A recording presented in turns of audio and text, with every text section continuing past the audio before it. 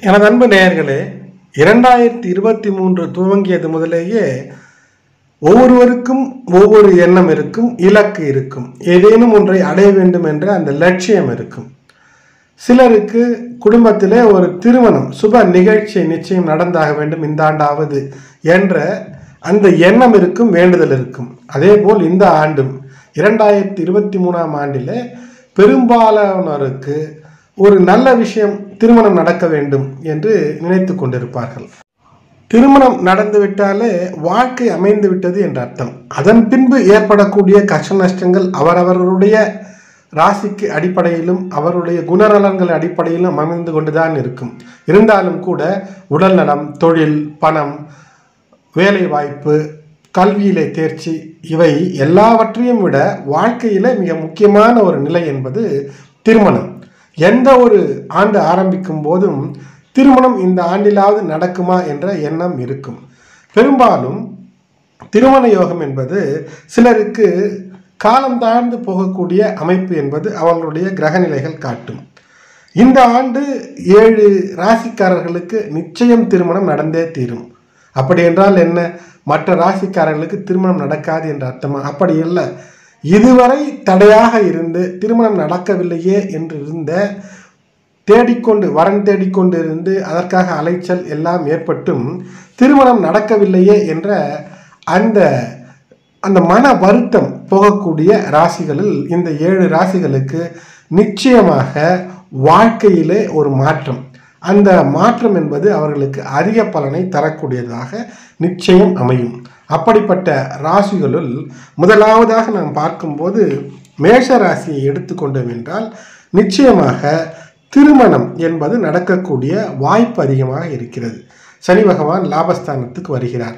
ஏப்ரலுக்கு பின்பு ராகுவோடு குரு பகவான் இணைகிறார். ஆகையினாலே சற்றென்று திருமணம் முடிவதற்கு ஒரு வாய்ப்பு இருக்கிறது. இரண்டாவது துலாம் ராசிக்கு இரண்டாயிரத்தி இருபத்தி மூன்றாம் ஆண்டு அந்த ஆரம்பத்திலேயே சனி பயிற்சியின் காரணமாக அர்த்தாஷ்டம சனியின் காரணமாக அவர்களுடைய இல்லற வாழ்க்கை தொழில் வியாபாரம் எது எடுத்தாலும் ஒரு தடை என்ற அந்த நிலை மாறி அதிர்ஷ்டம் என்ற அந்த மாற்று நிலை.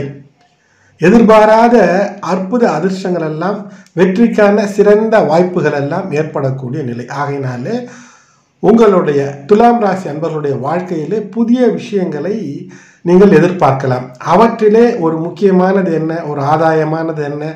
நிதி நிலைமை அந்த நிதி நிலைமையின் காரணமாக சீர்படக்கூடிய திருமண யோகம் என்று அமைந்து உங்களுக்கு அற்புதங்களை தரும்.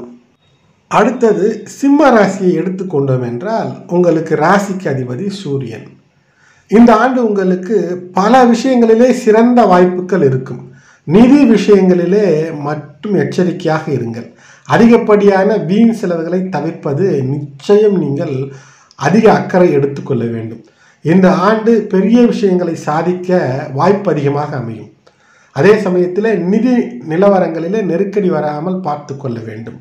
மிக ஓடியாடி உழைக்கக்கூடிய ஆண்டாக இருக்கும்.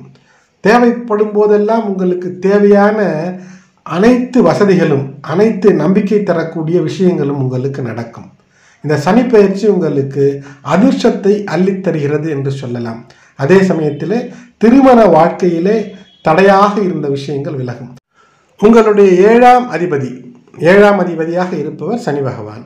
அவர்தான் அந்த இடத்திற்கு மூல திரிகோணத்திலே அமர்வார். அந்த மூல திரிகோணத்திலே இருபது டிகிரிக்குள் இருப்பதற்குள்ளாகவே உங்களுக்கு திருமணம் நிச்சயமாக கைகூடி வாழ்க்கை நன்றாக அமையக்கூடிய அமைப்பு ஏற்படும். வெற்றியை நீங்கள் பெறக்கூடிய அமைப்பு எல்லா விஷயத்திலும் இருக்கும். தொழிலிலும் முன்னேற்றம் இருக்கும். நிச்சயமாக உங்களுடைய கனவுகள் நினைவாகும். பொருளாதார விஷயத்திலே வேலை செய்யக்கூடிய விஷயத்திலே மிக கவனமாக இருங்கள். வேலை செய்யக்கூடிய இடத்திலும் சரி வேலை விஷயத்திலும் சரி மிக கவனத்தோடு எச்சரிக்கையோடு இருப்பது நிச்சயமாக அனுகூலங்களை தரும். மிதுன ராசி அன்பர்களுக்கு அவர்களுக்கு இயற்கையாகவே கல்வி கேள்வி ஞானம் கல்வி ஞானம் இவையெல்லாம் இருந்து அதிகப்படியான திறமைகளை உள்ளடக்கியவர்களாக இருப்பார்கள். இருந்தாலும் கூட கடந்த சில ஒரு மூன்று ஆண்டுகளாக அவர்களுக்கு பல பிரச்சனை இருந்தது. இலக்குகளை அடைய முடியவில்லை. அதிர்ஷ்டம் என்று ஏதேனும் ஒன்று இருந்தாலும் அது தடைபட்டு தடைபட்டு வருவதிலே சிக்கல். வருத்தங்கள். காதல் கைகூட வாய்ப்பு இருக்கிறதா என்று அலசி ஆராய்ந்தாலும் கூட அதில் சிக்கல் இருந்து கொண்டே இருந்தது. இப்போது உங்களுக்கு காதல் கைகூடுவது மட்டுமல்ல இரண்டாயிரத்தி இருபத்தி மூன்றாம் ஆண்டிலே உங்களுடைய வருத்தங்கள் உங்களை விட்டு விலகி நின்று உங்களுக்கு திருமண யோகம் என்பது அருமையாக அமைகிறது. ஆகையினால் குழந்தை வரம் வீடு வாங்குதல் வீட்டிற்கு புதிதாக ஒரு நபர் சேருது. அது திருமணம் அல்லது குழந்தை வரம் மூலமாக அமையும். இப்படி உங்களுக்கு அற்புதங்கள் எல்லாம் நிகழக்கூடியதாய் இந்த இரண்டாயிரத்தி இருபத்தி மூன்று திருமண யோகத்தையும் தரும். ரிஷப ராசி அன்பர்கள் இரண்டாயிரத்தி இருபத்தி மூன்று அன்று நல்ல ஒரு ஆரம்பத்தை அற்புதத்தை அதிர்ஷ்டத்தை தரக்கூடியதாக இருக்கும். என்ன? நீங்கள் உங்களுடைய விஷயத்தை திட்டமிட்டு ஒரு நெறிமுறைப்படுத்தி ஒரு வகைக்குள் வைத்தால் நிச்சயமாக வெற்றி பெறுவீர்கள். பேராசை என்பதை ஒழித்துவிட்டு இருக்கக்கூடிய விஷயத்தை நாம் எப்படி பெறுவது என்று நேர்மையான முறையிலே முயற்சி செய்யும்போது அனைத்து விஷயமும் வெற்றியாக வரக்கூடிய வாய்ப்பு உங்களுக்கு அதிகமாக இருக்கிறது. தொழிலிலே உங்களுக்கு நிச்சய வெற்றி என்பது அமைவதற்கான வாய்ப்பு. அதோடு திருமண முயற்சி வரம் தேடிக்கொண்டிருக்கிறீர்கள் தலைப்பட்டு கொண்டிருக்கிறது என்றால் அதில் ஈடுபடும் போது நிச்சயமாக நல்ல வரன் அமையக்கூடிய ஆண்டாக சாதகமாக இங்கு இருக்கும். உங்களுடைய முயற்சி அனைத்தும் நிச்சயம் வெற்றி பெற்று நல்ல திருமண வாழ்க்கை பந்தம் அமையக்கூடிய ஆண்டு. பணம் கையிலே வரக்கூடிய விஷயம் என்று பார்த்தால் அதிலும் பெரிதாக உங்களுக்கு அதிர்ஷ்டம் என்று சொன்னால் சற்று கூடுதல் உழைப்பு பணம் உங்கள் கையிலே நிற்கக்கூடிய அதிர்ஷ்டம் இருக்கும். ஆனால் திருமண வாழ்க்கை என்பது உங்களுக்கு கைகூடக்கூடிய அமைப்பு. ஆகையினாலே சிக்கனமாக செலவு செய்து நல்ல வரன் தேடி ஒரு பெரிய பட்ஜெட்டிலே திருமணம் செய்யாமல் ஆடம்பரம் தேவையில்லை. ஆனால் நல்ல எண்ணங்கள் கொண்ட உற்றார் உறவினர் நண்பர் சூழ ஒரு திருமண நிகழ்ச்சி என்பது நடப்பதற்கு அதிகப்படியான வாய்ப்பு நிச்சயம் இது நடக்கக்கூடியது. நீண்ட நாட்களாக ரிஷபராசிக்காரர்கள் திருமண வரம் தேடிக்கொண்டிருந்தீர்கள் என்றால் இது நடக்கக்கூடிய வாய்ப்பு நிச்சயம் நடக்கும். அதேபோல் மகர ராசி அன்பர்களே உங்களுக்கு இரண்டாம் இடத்திலே சனி பகவான் மூலத்திரிகோணத்தில். நான்காம் இடத்திலே குரு ஏப்ரல் இரண்டாயிரத்தி இருபத்தி மூன்று இருபத்தி ஒன்றாம் தேதி முதல் அங்கு சென்று விடுவார். அப்போது என்ன நடக்கும்? குடும்பம் அமைவதற்கு வாய்ப்பு வீடு அமைவதற்கு வாய்ப்பு.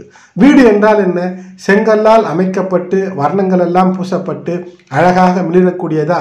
அங்கு கணவன் மனைவி என்று சந்தோஷமாக ஒரு குடும்பம் நிச்சயமாக அப்படி ஒரு குடும்பம் அமைவதற்கு அதிகப்படியான வாய்ப்புகள் மகர ராசி என்பவர்களுக்கு இருக்கிறது. நீண்ட நாட்களாக வரன் தேடிக்கொண்டிருந்தீர்கள் என்றால் நிச்சயம் அமையும். பிப்ரவரி மாதத்திலே கூட உங்களுடைய முயற்சிகள் வெற்றி பெறுவதற்கான வாய்ப்பு இருக்கிறது. ஆனால் நிச்சயம் அருமையான வாய்ப்பு என்பது உங்களுக்கு இதில் மட்டுமல்ல பல விஷயத்திலே அமைகிறது. மகர ராசிக்காரர்களுக்கு மெதுமெதுவாக வெளிச்சம் விடியல் உங்களுக்கு பிறந்து கொண்டிருக்கிறது. அதிலே திருமணம் என்பது அந்த திருமணத்தின் மூலமாக உங்களுடைய வாழ்க்கை என்பது உயரப்போகிறது. மற்றவர்கள் பார்த்து பொறாமைப்படக்கூடிய இப்படி ஒரு வாழ்க்கை நமக்கு வேண்டும் என்று எதிர்பார்க்கக்கூடிய வாழ்க்கை நிச்சயம் அமையக்கூடிய நாள் வந்து கொண்டிருக்கிறது இரண்டாயிரத்தி இருபத்தி மூன்று திருமண யோகத்தை உங்களுக்கு தருகிறது.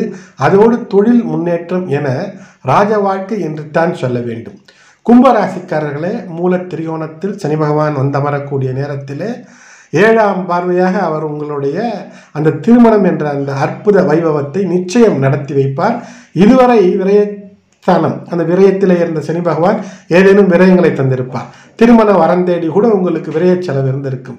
திருமணம் ஒருவேளை உங்கள் இல்லத்திலே யாருக்கேனும் நடந்திருந்தாலும் கூட அங்கு சில சிக்கல் இருந்திருக்கும். அவற்றையெல்லாம் இப்போது மெதுவாக விலக்கி திருமணம் சார்ந்த விஷயத்திலே திருமணம் கைகூடக்கூடிய அமைப்பை சனி பகவான் உங்களுக்கு ஏற்படுத்துவார். இரண்டாயிரத்தி இருபத்தி மூன்றிலே இருக்கக்கூடிய கிரக நிலைகள் அற்புதமான உங்களுடைய இதற்கான முயற்சிகளை எல்லாம் வெற்றி பெறக்கூடிய அமைப்பை ஏற்படுத்துவார். ஆகையினாலே இரண்டாயிரத்தி இருபத்தி மூன்றிலே நிச்சயம் இந்த ஏழு ராசிக்காரர்கள் இதுவரை தடைபட்டிருந்தது என்று இருந்த நிலை மாறும். மேஷம் ரிஷபம் மிதுனம் சிம்மம் துலாம் மகரம் கும்பம். மற்ற ராசிக்காரர்களுக்கு நிச்சயம் இந்த ராசிக்காரர்களோடு திருமண பந்தத்தில் இணையக்கூடியவர்கள் மற்ற ராசிக்காரர்கள் ஏதேனும் ஒருவராக இருக்கக்கூடிய சமயத்தில் திருமணம் என்பது உங்களுக்கு தடைபட்டிருந்த விஷயம். நிச்சயம் நடந்து அந்த திருமண யோகம் உங்களை வாழ்க்கையின் அடுத்த கட்டத்திற்கு அழைத்துச் செல்லும். எனது அன்பு நேயர்களே இதுவரை சப்ஸ்கிரைப் செய்யாதவர்கள் சப்ஸ்கிரைப் செய்து பெல் பட்டன் அழுத்தி தொடர்ந்து இணைந்து ஆதரவு தர அன்போடு வேண்டுகின்றேன். இந்த பதிவு பிடித்திருந்தால் லைக் செய்யுங்கள் மற்றவர்களுக்கும் ஷேர் செய்யுங்கள். நிச்சயம் ஏதேனும் ஒருவருக்கு உதவியாக ஆறுதலாக உத்வேகமாக அதன் காரணமாக புதிய முயற்சிகளில் ஈடுபடுவதற்கு வழிவகையாக இருக்கும். நன்றி.